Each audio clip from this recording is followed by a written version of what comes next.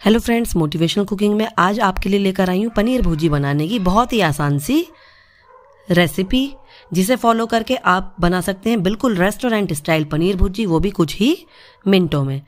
इसके लिए हमें इन चीज़ों की ज़रूरत पड़ेगी।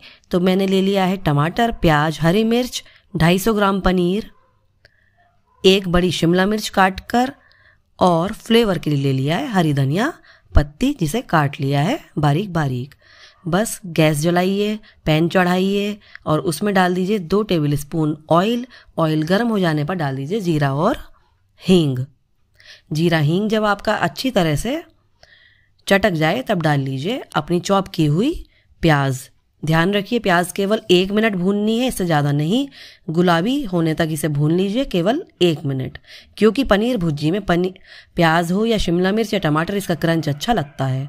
एक मिनट ही भूनेंगे हम। शिमला मिर्च को, इसके साथ भी प्याज भुन जाएगी और शिमला मिर्च कुक हो जाएगी। शिमला मिर्च और प्याज अच्छी तरह से गल जाएँ तो डाल देंगे। स्वाद के अनुसार नमक, वो भी इसी टाइम पर। नमक को मिक्स कर लीजिए।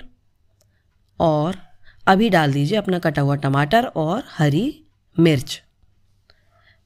बस ये तीन चार सब्ज़ियाँ डालकर और पनीर को इसमें ग्रेट करके हम तैयार कर लेंगे अपनी बढ़िया सी पनीर भुजी और इसका कुकिंग टाइम है बहुत ही कम।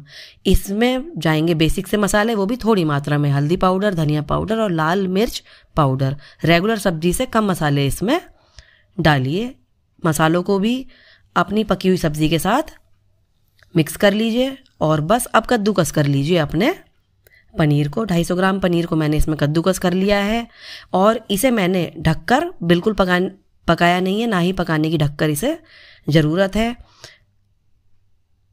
पनीर को कद्दूकस कर लेना है और केवल इसमें मिक्स कर लेना है। पनीर डालने के बाद सारी सब्जियों के साथ केवल मिक्स करना है, वरना पनीर ओवर कुकड हो जाएगा और थोड़ा सा चुई भी हो जाएगा। इसी टाइम पर डाल लीजिए एक चम्मच टमाटर सॉस और इसे भी मिक्स कर लीजिए अपनी इस सब्ज़ी में। आप एक बार इस तरीके से बना कर देखिए और आपके बच्चे बार बार आपसे डिमांड करेंगे कि टिफ़िन रेसिपी में उन्हें पनीर भुजी दी जाए। अब इसे गार्निश कर लीजिए बिल्कुल फ्रेश हरी धनिया पत्ती के साथ। बस तैयार है आपकी बहुत ही बढ़िया डिलीशियस और सुंदर सी सूखी सब्ज़ी। अगर आपको यहाँ पर ड्राई लग रही है तो आप जब इसे पका रहे हैं तो एक दो बूंद छीटा पानी का दे सकते हैं। सुबह की भाग दौड़ में आप बहुत जल्दी से इसे तैयार कर सकते हैं। वीडियो पसंद आई हो तो शेयर कीजिए व्हाट्सएप पर अपने फ्रेंड्स और फैमिली के साथ। बने रहिए मेरे साथ। Thank you very much for watching